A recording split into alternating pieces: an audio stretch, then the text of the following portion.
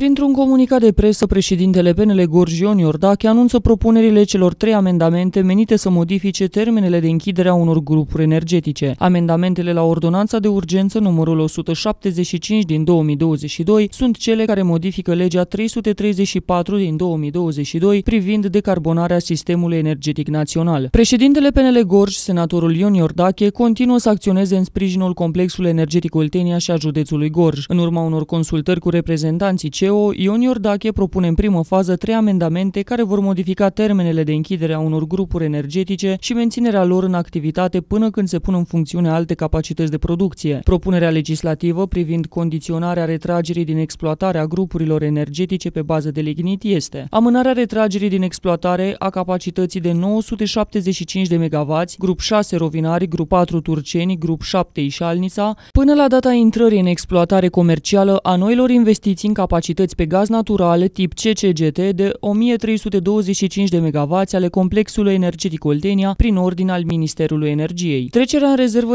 de capacitate a grup 6 Rovinari, grup 4 Turceni, grup 7 Ișalnița până la 31 decembrie 2032. Menținerea în funcțiune a grupurilor energetice pe bază de lignit până la procesarea întregii cantități de lignit rezultată din programul de închidere a activității miniere a carierelor. În perioada următoare vom elabora și alte amendamente aduse ordonanței Ordonanței de Urgență numărul 175 din 2022, care modifică legea 334 din 2022 privind decarbonarea sistemului energetic național prin care PNL Gorj își propune să asigure CO și energiei produse pe bază de cărbune continuitate până la momentul în care investițiile în grupurile noi vor fi realizate și date în folosință. Acționăm având în vedere situația economică a județului Gorj și viitorul gorjenilor.